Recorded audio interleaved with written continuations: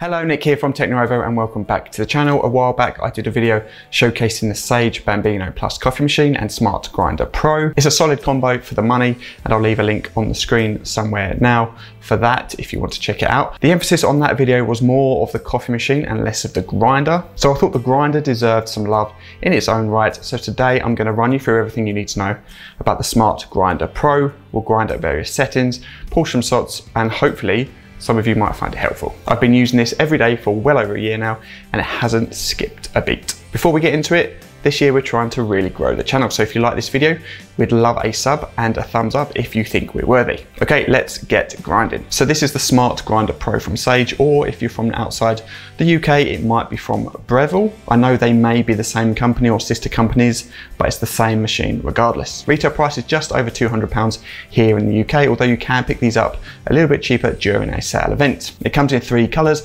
brushed steel, which I have here, a matte black or a darker gray steel. It's got stainless steel conical burrs, that's the grinding tool on the inside of the machine, and will pretty much grind your coffee beans to the consistency you want for you to make your coffee the way you want to. 60 settings in total for grind coarse, plus weight and shot count, and you can grind straight into your portafilter or into a container. It comes with two portafilter cradles, 50 to 54 mil and 58 mil, plus a plastic container. The hopper can hold up to 450 grams of beans if you like to keep them in there that is. It comes with a two year warranty and uses 165 watts of power. Moving from the top down, hopper at the top with a rubber lid that provides somewhat of an airtight seal. Below that and inside the hopper, the burrs. Then moving down, you've got the LCD display showing grind coarse, grind time and shot count. You've then got a small dial to the front to select grind amount, then a large dial to the right hand side to select grind size, a shot button and start stop. Below that, the outlet where the ground coffee comes out, then the hanger for your portafilter, which also has a push button behind it. So instead of pressing a button to grind with your finger, you can push the portafilter in instead and it will start grinding. You can then also hold the portafilter against that button to manually grind as well if you need a little bit more. If you're not using a portafilter, you press the start pause button. Below that, a removable tray, so any lost bits of coffee collects here. You can then lift it off and clean it in the sink. The machine sits on rubber feet and there is a cable tied underneath the machine so you can wind around the power cable if you needed to. So in terms of settings, the first is grind time or you could say weight or quantity of coffee. This is how much coffee you will end up with in your portafilter or container, and that amount depends on how big your portafilter is, and or for me, dialing in an espresso shot the way I like it. Rotate the knob and the number will go up and down in increments of 0.2 seconds, and it's a matter of trial and error to get the amount of coffee you need. Next is the shot button, which is simply one or two, whether you're pulling a single or double shot. For me, I like it strong, so I always go for a double shot. The last is grind size, which starts at very fine or one,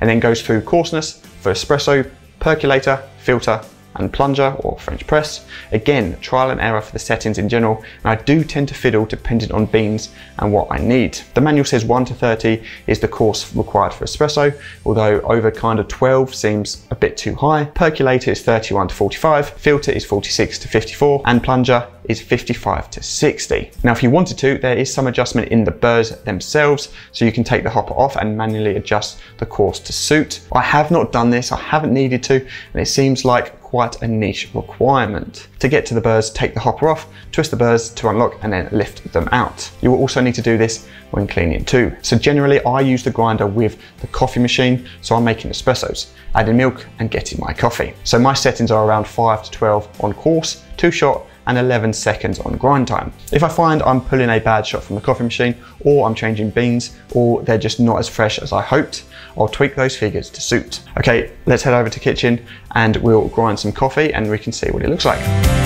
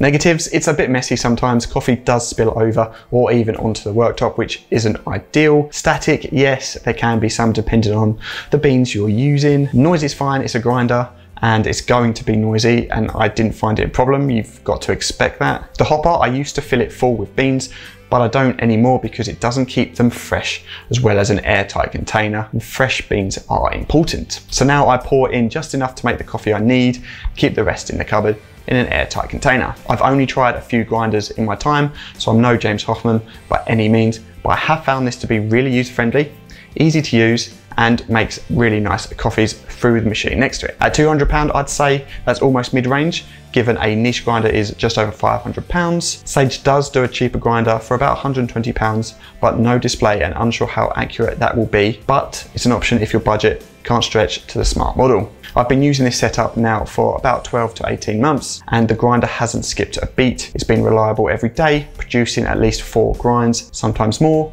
and it requires very little maintenance other than the occasional clean. For me as an average coffee consumer, it's been a dream and I'd happily recommend it. That's a wrap on this video.